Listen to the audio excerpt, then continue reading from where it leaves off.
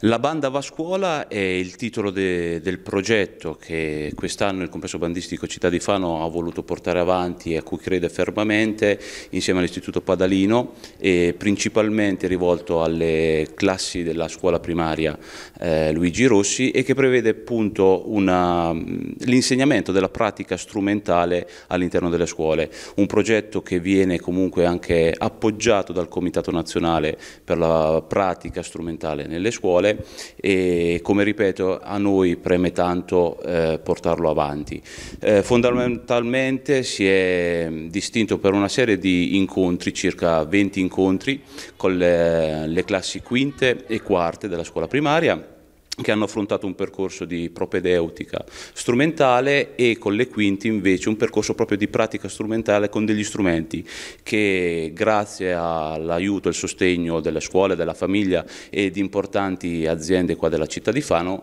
siamo riusciti a, ad acquistare ben oltre 30 strumenti e, e, a cui è stato possibile poi ehm, darli in uso ai singoli ragazzini per poter affrontare queste, queste lezioni. L'educazione musicale, il fare musica a scuola è, è fondamentale, ha una valenza straordinaria perché permettiamo ai nostri alunni lo, lo sviluppo di, di competenze sociali, relazionali, permette anche lo sviluppo di, di, linguaggi comunicativi anche non verbali, anzi soprattutto non verbali. E vorrei ringraziare tutti coloro che hanno partecipato a questo progetto di iniziare la scuola Padalino, comprensorio Padalino, la dirigente, i nostri i progetti non finiscono qua, quest'anno è il quarantesimo anno di fondazione dell'organizzazione Vallato,